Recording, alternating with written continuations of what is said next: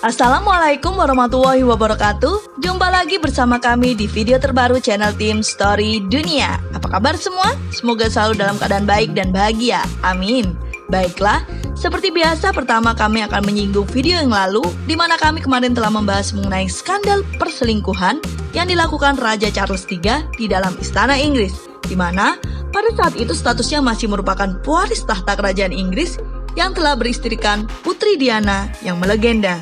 Bagi yang belum sempat melihatnya, bisa menonton di video sebelumnya ya. Sedangkan untuk video kali ini, kami akan kembali membahas mengenai salah satu pemimpin kerajaan. Namun kali ini tidak akan jauh menyeberangi samudera untuk ke Eropa, karena raja yang akan kita bahas adalah seorang raja dari negeri Asia Tenggara. Tepatnya, negara Kamboja. Siapakah dia? Dia adalah Norodom Sihamoni. Jika banyak raja dulu erat kaitannya dengan banyak wanita yang mengelilinginya, hingga kadang raja juga memiliki banyak sekali selir, maka agaknya ini berbeda dengan Raja Norodom Sihamoni. Dirinya masih berstatus lajang hingga saat ini. Penasaran dengan kisahnya? Langsung saja yuk disimak ceritanya.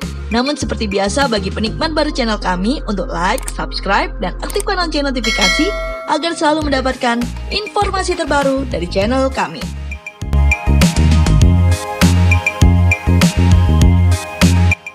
Norodom Sihamoni lahir pada 14 Mei 1953 di tanah kerajaan Phnom Penh, Kamboja. Dia adalah Raja Kamboja yang menjabat saat ini. Dia menjadi raja pada tanggal 14 Oktober 2004, seminggu setelah Raja Norodom Sihano turun tahta. Dia adalah putra tertua Raja Sihano dan Ratu Norodom Moninet. Dia adalah duta besar Kamboja untuk UNESCO dan ditunjuk oleh sembilan anggota Dewan Tahta untuk menjadi raja berikutnya setelah ayahnya Norodom Sihano turun tahta pada tahun 2004. Sebelum naik tahta, Sihamoni dididik di Cekoslowakia dan terkenal karena pekerjaannya sebagai duta budaya di Eropa dan sebagai instruktur tari klasik.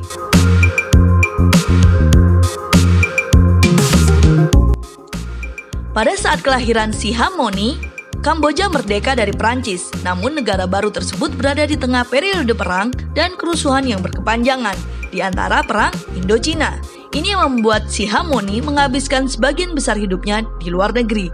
Sejak usia dini, Sihamoni menunjukkan bakat untuk seni. Dia pergi belajar di Cekoslowakia ketika berusia 9 tahun. Dan pada usia 14 tahun, dia membintangi Pangeran Kecil, sebuah film yang dibuat oleh ayahnya. Setelah Sihano digulingkan dari kekuasaan dalam kudeta tahun 1970, Sihamoni tetap berada di Praha, menjalani studi di National Conservatory dan Academy of Music Art, berkonsentrasi pada tari, musik, dan teater. Pada tahun 1975, ia bergabung dengan ayahnya di Korea Utara dan mulai sekolah film di sana. Dia terus mengikuti orang tuanya dan kembali ke Kamboja selama rezim totaliter Khmer Merah. Setelah tahun 1976, dia tinggal bersama orang tuanya di bawah tahanan rumah di istana Phnom Penh. Setelah jatuhnya Pol Pot, keluarga dievakuasi ke Cina, tempat si Hamoni menjabat sebagai sekretaris ayahnya selama dua tahun. Pada tahun 1981, ia pindah ke Paris, di mana ia menjadi profesor tari klasik dan membentuk kelompok tariannya sendiri yang disebut Ballet Deva. Dia membuat koreografi beberapa pertunjukan rombongan dan juga membuat dua film dengan fokus tarian. Raja Norodom Sihamoni memiliki adik kandung bernama Samdek Norodom Narindrapong yang meninggal di usia 49 tahun. Namun, meski hanya memiliki satu adik kandung, Sihamoni juga memiliki 14 saudara tiri lainnya.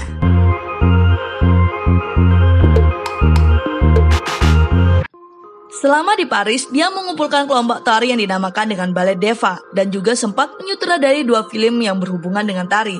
Si Hamoni kemudian diangkat menjadi wakil tetap Kamboja untuk PBB pada tahun 1992.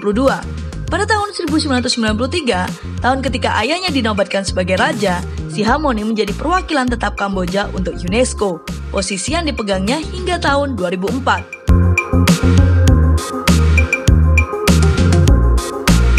Lalu kemudian, pada tahun yang sama yakni 2004, si Hamoni diangkat menjadi Raja Kamboja setelah ayahnya memutuskan untuk mundurkan diri. Pemilihan si Hamoni untuk menjadi raja pun mengejutkan. Pasalnya ada beberapa pesaingnya yang dinilai lebih cocok. Kemudian, dia dimakotai raja pada tanggal 29 Oktober 2004 dengan upacara yang sederhana karena kondisi ekonomi Kamboja yang buruk.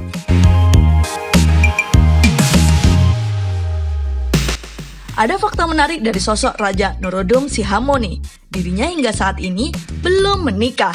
Jika biasanya raja kadang tidak cukup seorang permaisuri dan memiliki banyak selir, maka berbeda dengan Raja Kamboja ini. Menurut pengakuan ayahnya, Sihamoni menganggap semua perempuan sebagai saudara perempuannya. Karena kondisi itu pula, akhirnya beredar rumor bahwa dirinya adalah gay, terutama setelah ibunya, Ratu Moninet, tersentak ketika ditanya apakah dia akan segera menikah dan berseru, "Istri?" Dia bertanya. Dia hanya merasa Buddhis, namun tidak ada yang pernah dikatakan secara resmi. Dan Raja Sihamoni adalah raja yang sangat tertutup. Mengesampingkan gosip dan desus-desus, memang ada keramahan kaum gay di Kamboja, khususnya tempat gay di Phnom Penh dan bar gay di Siem Reap. Raja Norodom Sihano sebelumnya juga mendukung pernikahan gay di Kamboja selama pemerintahannya. Yang menarik lagi dari Raja Norodom Sihamoni adalah disebut sebagai Raja termiskin di dunia. Dari 10 daftar Raja termiskin di dunia, Raja Sihamoni menempati urutan pertama, jauh di bawah total kekayaan Raja Felipe dari Belgia yang berada di urutan kedua dalam 10 daftar tersebut. Bahkan, total kekayaan Raja Sihamoni tak sampai super 25 dari total kekayaan Raja Felipe dari Belgia itu. Disebutkan kekayaan Raja Norodom Sihamoni dari Kamboja hanya sebesar 500 ribu dolar Amerika Serikat atau setara 8,3 miliar rupiah. Total kekayaan itu jauh di bawah kekayaan Raja Felipe dari Belgia yang menempati urutan kedua sebagai raja termiskin di dunia. Adapun kekayaan yang dimiliki Raja Felipe yaitu sebesar 14 juta dolar Amerika Serikat atau sekitar 233,4 miliar rupiah.